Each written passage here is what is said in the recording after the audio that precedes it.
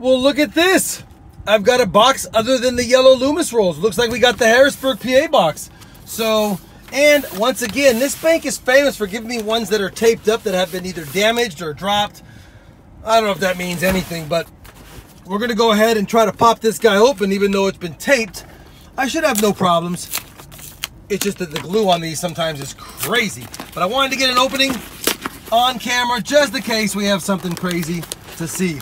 Maybe if I can get it open, it's sliding down my car and I'm trying to do this one-handed. God, you know how it goes.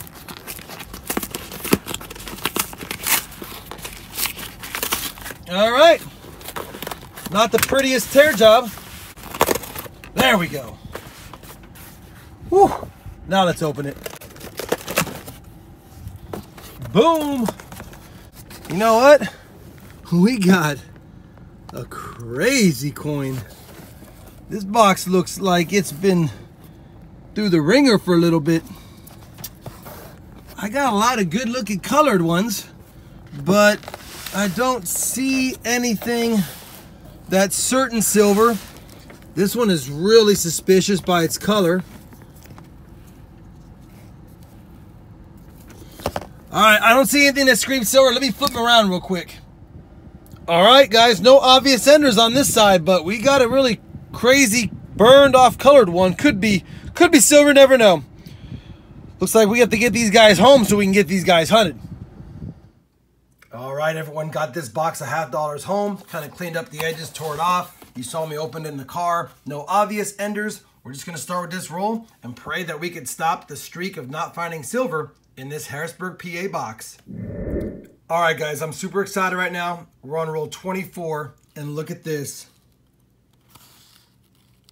That's a silver edge, and it looks pretty worn.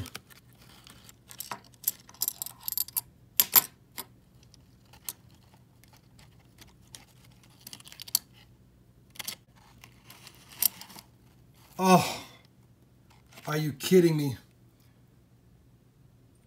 It's only a 42 but it's my first walking liberty ever pulled from a box. Unbelievable.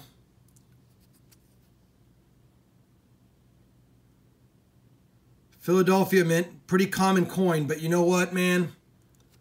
That's a good sign. We just pulled a walking liberty out of this box, guys. Unbelievable. Detail's not that bad. It's not that great either. But you know what, man? My first Walking Liberty pulled in circulation. 1942 Philadelphia. And that goes along with four NIFCs and another 74D double die obverse. Not in great shape. I never find them in great shape. But you know what? This box is not doing too bad. Holy cow. Harrisburg coming through. Let's get after it some more. All right, everyone, roll 46. And I'm a little embarrassed because I was watching Cointelligence's live stream and I wasn't paying attention to the edges. And I'm almost done with this roll. And right at the last two coins, look at this, 67. I don't know how I missed that, but you know what? I don't care. I didn't miss it going through the roll. We now have two silvers, a 42P Walker and a 67 Philadelphia 40 percenter. Unbelievable.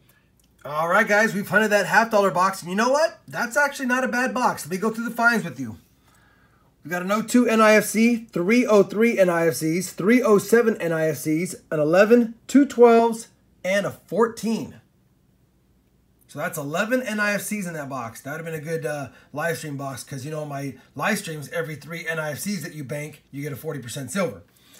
I also found, believe it or not, two 74D double die obverses. So that's pretty good. They're not in great shape again, but I'll take them. I found this really nice bicentennial. I don't keep them that often unless they're in this kind of condition. I'm trying to make some full roll sets of them. And then the finds of the box, guys. We got two silver, a 90% 1942p Walking Liberty. My first Walking Liberty pulled in circulation. That makes me super happy. And then I missed the edge. Wasn't paying attention, but you know what? We didn't miss it overall. A 67 40% silver. Feels good to get silver on the board. Feels good to find some NIFCs, some other cool finds. It's been a while since I had a good box. Makes me really happy. I've got two more boxes to still hunt. I'm probably going to keep them for my live stream, but I'm not sure just yet what I'm going to do. To any extent, felt good finding silver. Hopefully you enjoyed the short video, the one box hunt. I usually do two or three boxes, but at least we got some finds this time. If you enjoyed the video, please give it a thumbs up. And as always, everyone, happy hunting and thanks for watching.